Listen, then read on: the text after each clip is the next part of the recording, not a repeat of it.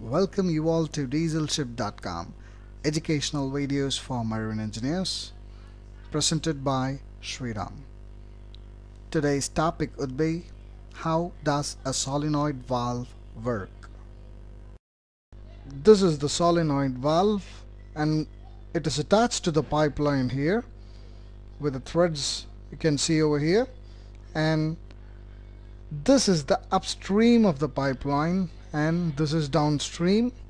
Upstream is pressurized currently and downstream has nothing. There is no flow since the valve is shut over here.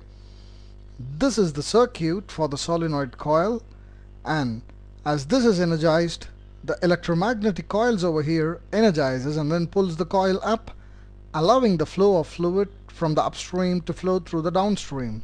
Let's see how it works.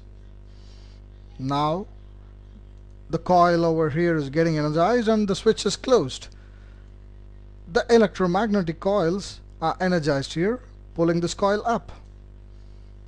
As it's as it is getting pulled up, the pressurized fluid starts to flow through the valve from upstream to downstream and both the sides pressure is equal. Now the fluid starts to flow.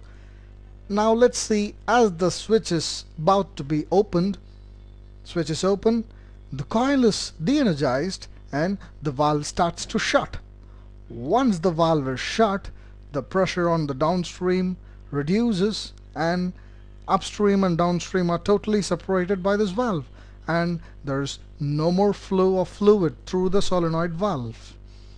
This is how a solenoid valve works. Thank you for watching the video. For more videos, log on to dieselship.com.